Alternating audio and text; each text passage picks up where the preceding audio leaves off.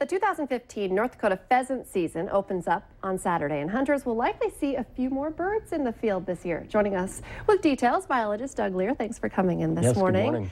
This is huge, and I wish yeah, that my is. husband hadn't been talking about it for the last, you know, this was no surprise that you wanted to talk about pheasant no. opener. It's, it's huge. Right, it is, and, and let me tell you, wait for this one now. I know all the eyes are going to be on Gate City Bank Field on Saturday for the Bison game, but all the feet are going to be on the fields across North Dakota because the pheasant season opener, and in some respects, with the reduction in deer tags, the pheasant season opener is almost as big, in some circles, bigger than the deer season opener. So yeah, it's a, it's a great, great day on Saturday for, for hunters all across North Dakota as we open up our pheasant season. And I know it's not just in my house. My husband loves to pheasant hunt. Right. But but this year it's like you're saying they could see more birds, so that just adds to it. Even when there's not a lot of birds, they still love. Right, they the should. season. They should see more birds. Now, uh, generally speaking, across the state, our pheasant numbers, our pre-season pheasant population is up 30% from last year, which if you look inside the numbers, I mean, that, that's good. If you're talking comparing it like investments, it's up 30%. Even better than that, last year, 2014, our numbers were up 30%